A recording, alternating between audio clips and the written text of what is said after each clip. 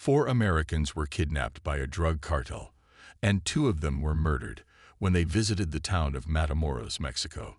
So why would the cartel apologize for the incident and hand over its own gunmen to the police? Before watching more video, don't forget to subscribe to our channel and bell the icon to get more notification.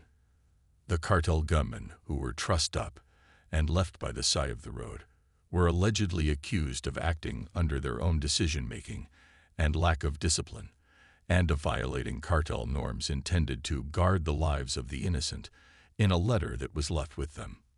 The Scorpions Group, a breakaway group from the dominant Gulf Cartel, put their names to it.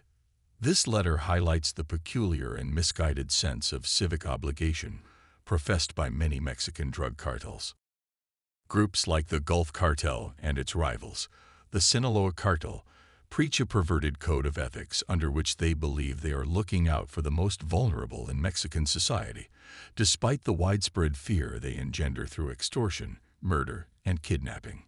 Undocumented migrants, who are often kidnapped, raped, and murdered, are excluded from this twisted concept of sympathy and charity. And just like international corporations and mom and pop shops alike have to pay El Piso, the local extortion for the privilege of doing business on their turf, local enterprises aren't exempt. There is, however, a method to the cartel's madness, especially in the poor, mountainous areas and the outlying regions of Mexico, where organized crime steps in to fill the void left by the state. Consider their actions in the aftermath of recent natural disasters.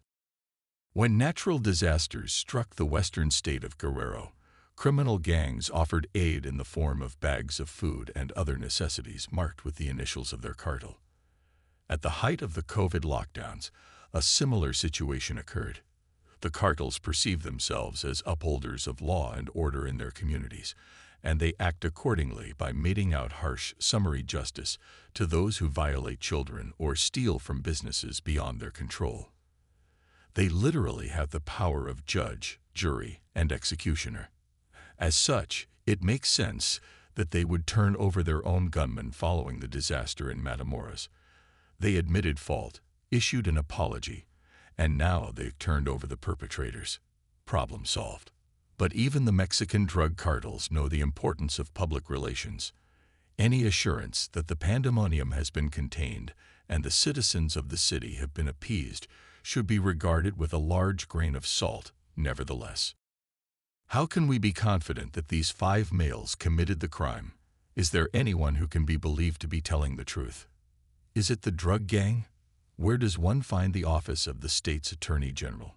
When navigating through muddy waters like those in Tamaulipas state, it's best to trust your gut and assume the worst.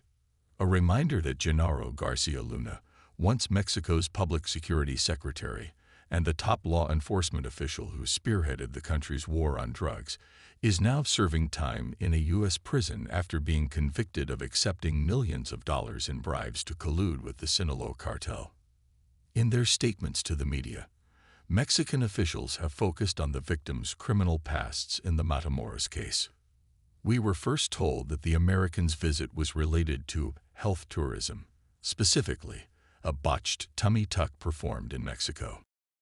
A member of the Mexican government emailed me a report about the victim's criminal past the next day, as rumors began to circulate that at least one of them had been convicted of manufacturing illegal narcotics with the purpose to provide. A harmless remark along the lines of, just checking you'd seen this was made.